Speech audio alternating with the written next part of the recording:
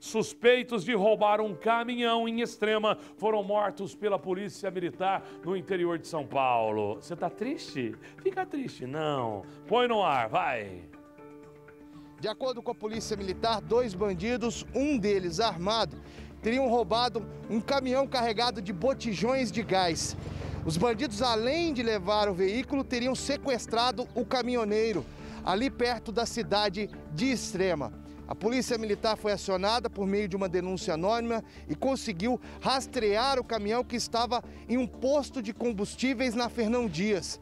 Ao avistar as viaturas, os bandidos fugiram em alta velocidade sentido a cidade de Vargem, no interior do estado de São Paulo. E próximo ao pedágio entre os municípios de Extrema e Vargem, a Polícia Militar conseguiu fazer um cerco-bloqueio e impedir a fuga desses criminosos. Ainda de acordo com a Polícia Militar, esses dois bandidos teriam descido do caminhão e resistiram à prisão. E ainda segundo a PM, um deles estaria com um objeto preto na mão, o que parecia ser uma arma de fogo. Houve disparos por parte da Polícia Militar, de acordo com a PM, os bandidos foram baleados e foram encaminhados para o hospital, mas não resistiram aos ferimentos.